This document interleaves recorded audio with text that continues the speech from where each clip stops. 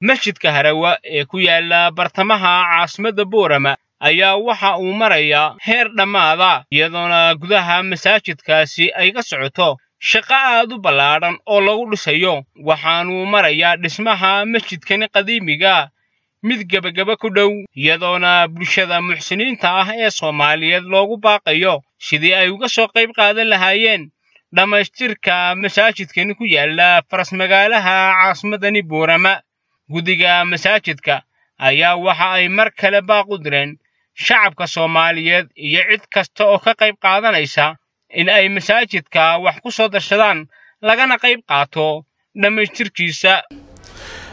Maanta ay bishu tahay jamaadul awal afar iyo toban. Bisha disembarna ay tahay sagaaliyo labaatan. Waxaa ilaahay mahadiya inaan halkan ugu kulannay. Masaajidkii harawe ee weligii awdhiskiisu soconaya inaan ku kulannay annagoo ka kooban guddidii masaajidka iyo culimadii magaalada.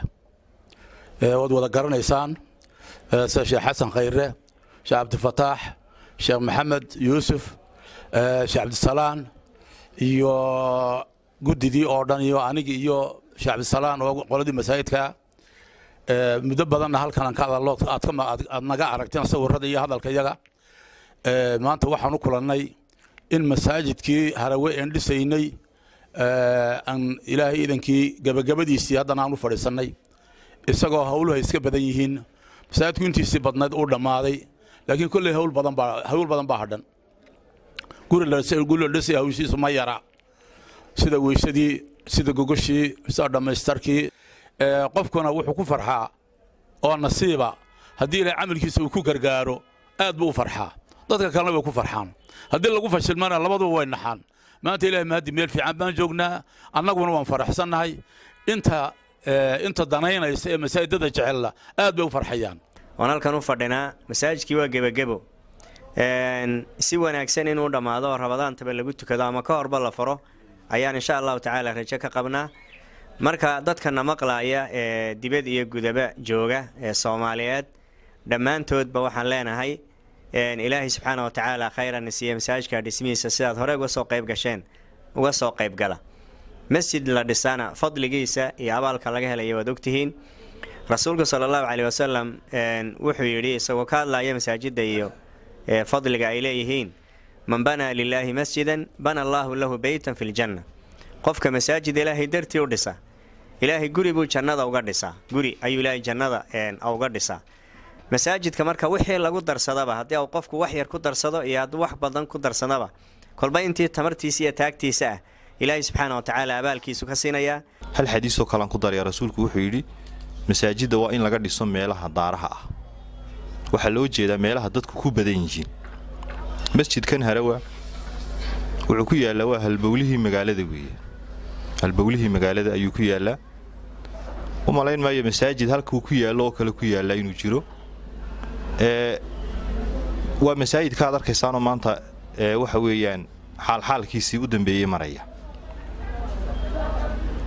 Waana masaajidadii ugu horreeyey marka laga hadlayo magaalada. Anuu hadalka soo koobaya intii ka qayb qaadatay ilaahay subxaana wa tacaala miisaanka xasanaadka ha ugu daro. Intii hadhayna waxaan leeyahay dee waxaa la arki doonaa masaajidkaasoo qurux badan oo lagu tukanayo ood hadhow odhan doonto maan wax ku darsado. Marka fadligaas intaanu ku dhaafin waxaad ku darsan karayso hadda ku darso? Innagu unbaa yacnii gacantiinna aan jeebka gelinnay innagu unbaa dadkan muslimiinta ah ee dee muxsiniinta ee jecel inay wax unbaan wax ka qaadnay. Haddii ay noqoto dad beera laga qaaday iyo haddii ay noqoto dad jagooyin laga qaaday in badan baa jirta. Dadkaana waanu ducaynaynaa ilaahay jannatulfardowsa ilaahay ugu abaalmariyo markaa masaajidkii weli wa dhammaystirna ilaahay fadligiisa ilaahay halkaas iminka inoo marayaa waa alxamdu lilaah waxaanu u baahannahay gacantiinaan u baahannahay gacantiinaan aada u doonaynaa ilaahay miisaanka xasanaadka allah iniigu daro. Marka runtii masaajidkii wax badan baa dhiman oo gabagabu dhinacna ka yahay dhinacasaa la sheegay runtii lacag aad u qiimo badan oo weyn baa runtii dhiman.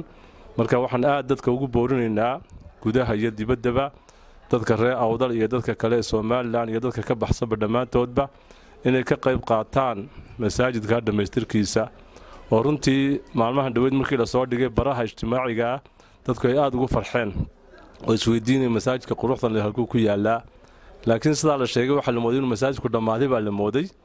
Masaajidka waxaad ogsoon tihiin marka la taago xaalxaalka ka qiimo bata oo ka qaalid noqda oo runtii ka kharash bata waxoogay ducaa. Ayaan aniguna raacinayaa. Dadkii ka qayb galay iyo kuwa ka qayb geli doona ee dambe. Waxaan ilaahay uga rajaynayaa inay dembigooga allaha dhaafo. Dembigooga allaha dhaafo. Halkii ay wax ka bixiyeenna ilaahay wax khayr ka badan ilaahay ha ka siiyo. Waa nuuc kadiye tv-ga caalamiga star